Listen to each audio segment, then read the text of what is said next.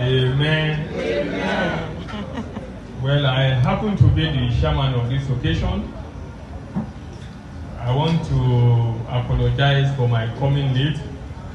I've gone to so many representational duties this morning.